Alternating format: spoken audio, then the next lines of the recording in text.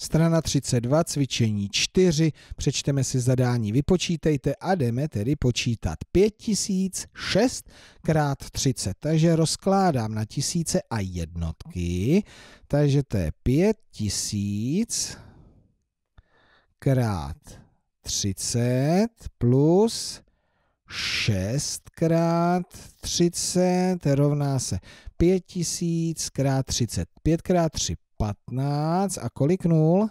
4 nuly 150 tisíc plus 6 krát 3 18 a 0 k tomu 180. Takže 150 tisíc 180. 150 tisíc 180.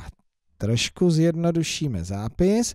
5060 krát 30, ale pozor, jak budu rozkládat na tisíce a desítky.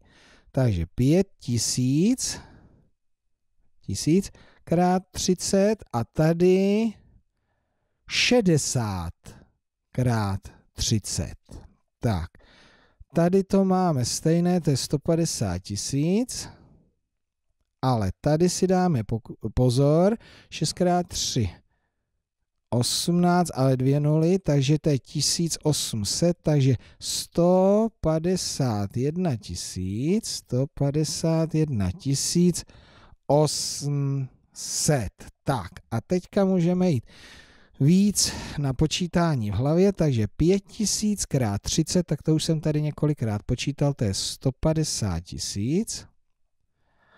A teďka pozor, 600 x 30, 6 x 3 18, ale 3 nuly, to je 18 tisíc, takže pozor, 100 tisíc, ale 10 tisíce 50, 10 60, tisíce 8, 168 tisíc. A do těch dalších příkladů, které budete počítat sami, až si přerušíte video, máte tři možnosti zápisu a výpočtu, budete si všechno zapisovat vedle sebe, nebo si budete psát takové dílčí výsledky nad, a nebo ty dílčí součiny budete psát a dostanete se k ním opravdu pamětným násobením. No tak přerušete video a počítáte.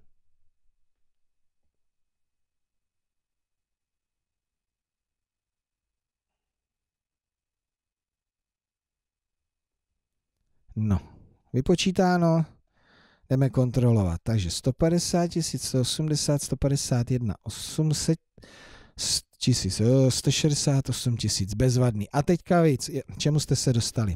960 tisíc, 906 tisíc, 900 tisíc 600, 320 tisíc 2, 320 tisíc 20, 320 200. Tak a kdo by se chtěl ještě zdokonalit, tak tady máme další, takže znovu přerušte video a zdokonalujte své pamětné násobení pomocí rozkladu.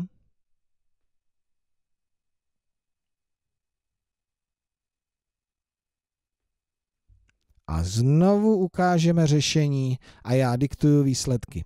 90 tisíc 3, 90 tisíc 30, 93 tisíc a ty tři příklady u Ečka 235 tisíc, 200 tisíc 350, 203 tisíc 500. Tak, výborně. Máte to? Tak v tu chvíli, jestli to máte dobře, tak můžeme prohlásit, že umíte pamětně násobit pomocí její rozkladu.